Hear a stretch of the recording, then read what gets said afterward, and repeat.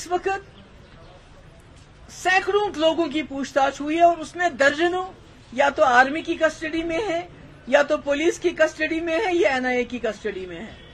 तो मैं कहना, मैं पूछना चाहती हूँ, जो यहाँ सरकार है, कि राजौरी पूंछ के लोग सबसे ज़्यादा अमन पसंद है। इन्होंने बंदूक को कभी सपोर्ट नहीं किया है।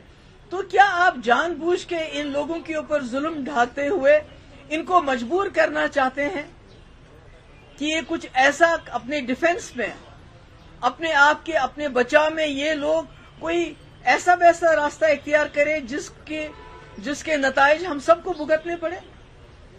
और यहाँ से मुगल रोड का रास्ता भी बंद है, उसको भी नहीं खोलते हैं। कम से कम इंसान जाए, वहाँ देखे, वहाँ जो इतना जुल्म सितम हो रहा है, कोई बात नहीं कर पाता है। बात करने की कोई बोलता है तो डर जाता है, बात नहीं कर सकता है। इसके मुख्तार के घर वाले औरतें रो रही थी, वो चिल्ला रही थी, मगर मर्द बात नहीं करते हैं। वो कहते हैं, जी, हम बड़े वफादार हैं, हमने पहले भी आर्मी का साथ दिया है, आगे भी देते रहेंगे, मगर हमारे साथ ये क्या हो रहा है?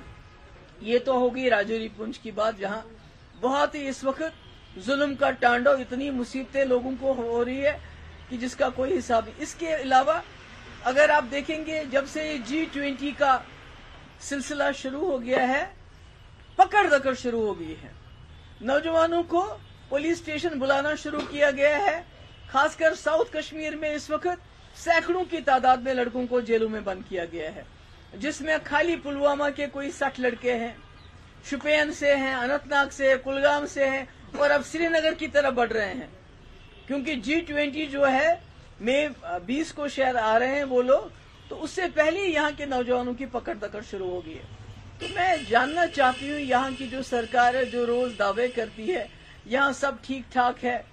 अब कितना जुल्म करेंगे वो लोगों पे? अगर उनको बीजी में उन पे हमला हो गया आर्मी पे तो आम लोगों को क्यों तंग करें? आप लोगों की क्यों पिटाई करें? आम लोगों की हलाकतें क्यों वहाँ हो रही हैं, टॉर्चर की वजह से?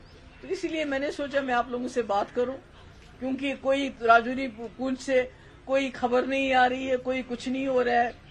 किसी को कोई अखबार वाला नहीं लिख रहा है इसके बारे में। कोई जो है, चैनल वाला इसकी बात नहीं करता है तो मैंने कहा, कम से कम मैं तो बात करूँ। हो सकता है उन लोगों को थोड़ी सी सहूलियत हो जाए, जो इस वक्त बुज़ुर्ग तो बुज़ुर्ग, बच्चे क्या, औरतें क्या, सबकी इस वक्त जो है, टॉर्चर हो रहा है, सबकी पूछताछ में पिटाई हो रही है।